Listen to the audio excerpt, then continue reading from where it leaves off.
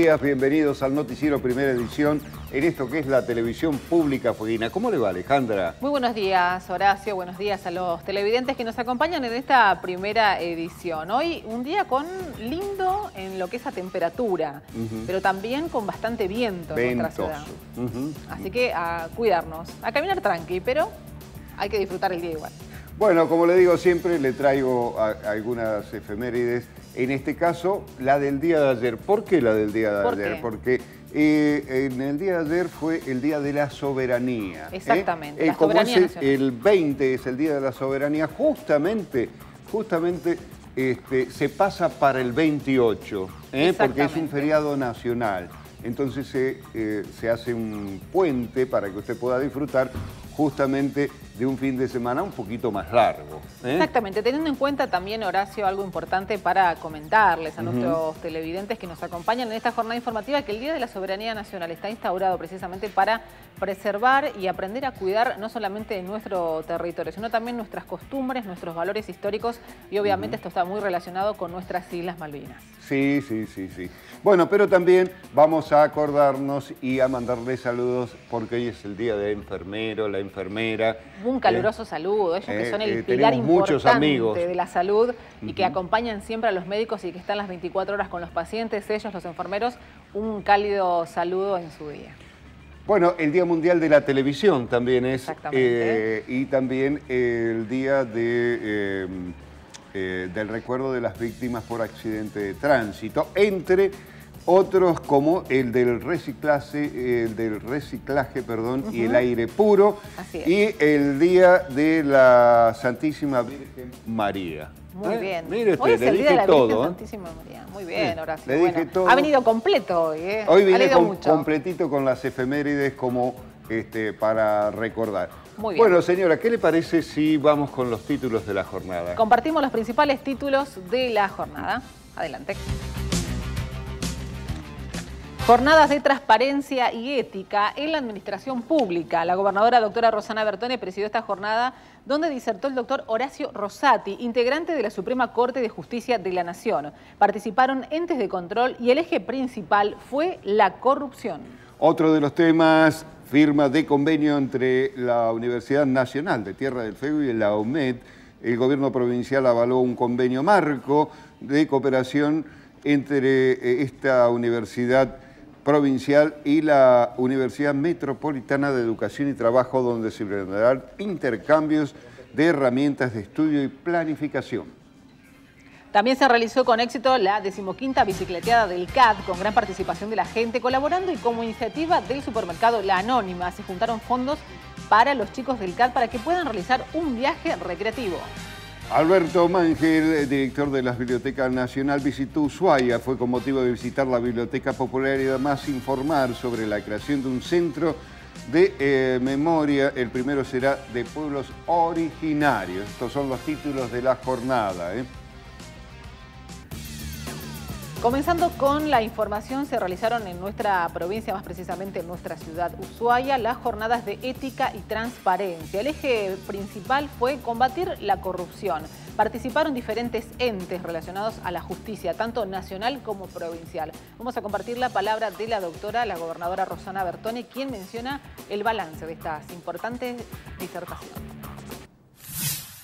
Fueron unas jornadas impulsadas por el Ministerio de Economía de la provincia, que lo que hicimos hacer en conjuntos con Fiscalía de Estado, el Tribunal de Cuentas, la Legislatura Provincial, el Poder Judicial, eh, a la que concurrieron realmente eh, muchos empleados administrativos, profesionales, proveedores del Estado, eh, con también una concurrencia de profesores y catedráticos destacados, presidentes de cortes de las provincias argentinas, profesores, eh, bueno, el doctor Rosati, que es miembro de la Corte Suprema de Justicia de la Nación, y, realmente eh, a mí me llenó de orgullo porque ver a muchos de mis colegas que nosotros tenemos muchas veces eh, esa necesidad de formarnos y, no es fácil desde Tierra del Fuego ir, trasladarse a un lugar para escuchar a catedráticos de esta naturaleza, de este nivel. Eh, entonces creo que fue eh, muy gratificante para todos, que sirven este tipo de conferencias, que nos ayudan, que prestigian a la administración, que tenemos que cuidar a nuestros trabajadores públicos, que hay eh, que cuidar la carrera administrativa y creemos que con actividades como esta, más la, escuela de capacitación, los premios que hemos instalado desde el Instituto de Formación, que pronto van a ser eh, ya dados a, conocer quiénes son este, las áreas que han este, logrado estos premios, eh, creo que vamos a lograr cambiar la dinámica del Estado que se venía teniendo. Por otro lado, se firmó un convenio. Coméntenos acerca de esa firma. Es un convenio para dictar una maestría de Derecho Administrativo con la Universidad Austral. En principio necesitábamos 25 inscriptos, ya hemos pasado ese número de inscripción, creemos que va a ser muy importante aquí en Ushuaia, esto ya se ha dictado en Río Grande y ha sido también con mucho éxito, queríamos hacerlo aquí, hay muchos interesados. Eh, queremos también eh, otro tipo de diplomatura en la carrera de salud, una formación para el área de la salud desde el punto de vista legal, que también lo estamos trabajando con la misma universidad, aprovechar los convenios que se han suscrito con este, la Universidad Nacional de Tierra del Fuego, con la Universidad Tecnológica, con otras universidades para poder tener eh, esa capacidad de asistencia eh, recíproca entre universidades y el Estado. Es una dinámica de trabajo también muy importante eh, que nosotros podemos este, ir este, viendo cuáles son los requerimientos por parte de la, bueno, del sector público, del sector privado y vamos este, colaborando entre instituciones. Bien, eh, teniendo en cuenta la cantidad de inscriptos, ¿continúa abierta la inscripción, el cupo? Sí, sí, continúa abierto. Más detalles podrán eh, dar las áreas que están implementando el convenio, la jefatura de gabinete que preside el ministro Gorbas, pero este, continúa abierta la inscripción. Y también le traemos uno de los titulares, este tiene que ver con el convenio que se firmó entre la Universidad Nacional de Tierra del Fuego y la UNED. Al respecto, eh, tuvimos la palabra de los rectores, tanto de la Universidad Nacional de Tierra del Fuego, el ingeniero Castellucci, como el doctor Trota. Hemos firmado un convenio de colaboración mutua, es decir, el convenio tiene alcances muy amplios, pero hay en algunos temas que ya vamos a empezar a trabajar juntos. Por empezar, eh, a la UMET y a nosotros nos interesa y a la provincia, ¿no? hacer algunos indicadores en el tema económico. Nosotros tenemos un departamento de economía muy capacitado para esto, así que ya en pocos tiempo más vamos a empezar a trabajar en forma conjunta.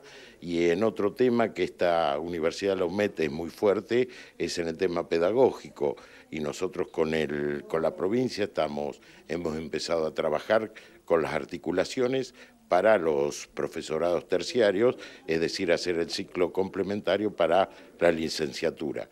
Entonces ahí el, apoyo de esta universidad creemos que va a ser muy importante porque tiene un departamento muy fuerte eh, en el área de pedagogía. También han tenido muy buena vinculación con presidentes latinoamericanos, caso Lula, caso Mujica, caso Linares, el vicepresidente de Bolivia, es decir que que también han trabajado mucho en el tema de la patria grande, que es otro de los temas que nos interesa. Nuestra universidad es una joven universidad, tiene cuatro años de existencia, es la Universidad Metropolitana para Educación y el Trabajo, que presenta la particularidad de ser la primera universidad creada por una organización sindical, el Sindicato de Trabajadores Edificio, y hoy es cogestionada por casi 50 organizaciones sindicales. El desafío nuestro es promover la democratización de acceso a la educación superior de los trabajadores y sus hijos, y también lograr que los trabajadores puedan dar un proceso de discusión del modelo de país que se tiene que discutir desde un ámbito universitario, eh, a partir de la incorporación también de la mirada de los investigadores radicados en, nuestro, en nuestra universidad, para poder garantizar un esquema de sustentabilidad del empleo y que no se busque, como ocurre recurrentemente, competitividad en nuestro país a partir de la reducción del salario. Para nosotros poder firmar un convenio con la Universidad Nacional Tierra del Fuego es muy importante porque también es una joven universidad, es una de las universidades creadas en los últimos años, que impulsa también, al igual que nosotros, ese desafío de permitir que jóvenes y trabajadores accedan a la universidad. El hecho hoy que nuestro país tenga en cada una de sus jurisdicciones, en cada una de sus provincias y en la propia Ciudad de Buenos Aires, al menos una universidad nacional, habla también de democratizar ese derecho, de federalizar la oferta universitaria. Y en ese sentido, para nosotros hoy poder establecer esta agenda de trabajo, donde participó también la gobernadora Rosana Bertone, es fundamental porque a partir de este convenio venimos trabajando también sumando la mirada en nuestra universidad a lo que es el desafío también de profundización y de mejora del régimen industrial en la provincia, con muchos investigadores que tienen nuestra universidad que vienen históricamente trabajando estas temáticas y poder hacerlo también con el Departamento de Economía de la Universidad Nacional. Creemos que ese es el primer paso en conjunto que vamos a llevar adelante, teniendo en cuenta que en nuestra universidad participan casi 50 organizaciones sindicales y un poco el desafío que se nos presenta es cómo hacemos de nuestro país un país con mayor justicia, con mayor distribución y con mayor oportunidades. Le comento una infidencia respecto a, la nota que viene, ¿no? Esto tiene que ver que mi hija me decía, la mayor, este, te tenés que anotar en el banco de datos que se va a crear. ah, No, pero no, no, no soy, no soy yo, le digo, yo no soy artista. Este, la artista sos vos, que ya que está con la eh, comedia de los Andes, ¿no? Correcto. Así que es muy importante esto que se va a crear, señora. Exactamente, es la creación de un banco de datos a nivel provincial para conocer los diferentes, las diferentes propuestas artísticas de la provincia y los diferentes artistas que están trabajando en distintas disciplinas. La convocatoria será hasta el próximo 12 de diciembre. Sandra Ruiz Díaz, quien es directora provincial de gestión turística, menciona en detalle en esta nota cómo se va a llevar adelante esta importante convocatoria. Todos los artistas de la provincia tienen que prestar mucha atención a esta nota. Estamos conformando el banco de datos de artistas de Tierra del Fuego que tienen en sí dos finalidades. Una, saber con el potencial artístico que contamos en toda la provincia y este va a ser un material de consulta para absolutamente todos los organismos públicos y privados. No es solamente para artistas visuales, es para músicos, gente de literatura, gente de danza, gente de teatro. ¿Por qué? Porque también es una buena iniciativa para restaurantes, para confiterías, saber que cuentan con este material humano, con, esta, con este grupo humano para poder eh, invitar a los turistas, incluso a los residentes, ¿no? disfrutar de, estas expresiones artísticas. Eh, la misma cierra el 12 de diciembre para que nosotros después podamos conformar las listas en función de, los, de las distintas expresiones artísticas y tienen que escribir a turismo cultural Es para los artistas de absolutamente toda la provincia. Momentos de servicio en el noticiero primera edición. Así es, momento de conocer cómo va evolucionando el mercado cambiario y vemos la placa de las distintas monedas del mundo. Comenzamos con el dólar, para la compra 15 pesos con 10 centavos, para la venta 15 pesos con 50 centavos. Mientras el euro cotizó para la compra 16 con 42 y para la venta 17 con 38. En tanto el real para la compra 4 pesos con 45 centavos, para la venta 5 pesos con 13 centavos. Bueno, ya se acerca, eh, estamos mucho más cerquita justamente de las vacaciones, así que a tener en cuenta el peso chileno. ¿eh? Para la compra está 0.022 y para la venta 0.029. ¿eh? Estaba complicado el hecho de salir este fin de semana, sobre todo por la frontera de Chile, con lo que eran los eh, transportistas chilenos, pero bueno, ya eh, han dejado esa medida, así que este, nos ponemos un poco contentos porque estábamos sin poder tener justamente algunos de eh, los insumos más necesarios para Tierra del Fuego, como son las frutas y las verduras. Muy bien. Vamos a continuar con más información ahora. ¿Cómo no? Pero en este caso los portales de Tierra del Fuego. Información actualizada que nos llega precisamente desde sur54.com. Internas del Movimiento Popular Fueguino ganó la lista 2, liderada por la legisladora Mónica Urquiza. La lista 2, siempre 54, que llevaba a la presidencia de la Convención Provincial. La actual legisladora Mónica Urquiza ganó hoy las internas partidarias del Movimiento Popular Fueguino. Ahí tenemos la foto precisamente que ilustra esta nota, se impuso por amplio margen a la lista 1, Juntos en Movimiento, que proponía, en este caso, la reelección de Jorge Lechman en ese mismo cargo. Además de Urquiza, completan la nómina el actual concejal Ricardo Garramuño y el legislador Pablo Villegas, entre otros históricos adherentes al sector interno que lideraba el fallecido exintendente y senador nacional Jorge Garramuño. También tenemos más noticias relacionadas también con sur54.com, pero desde otro ámbito.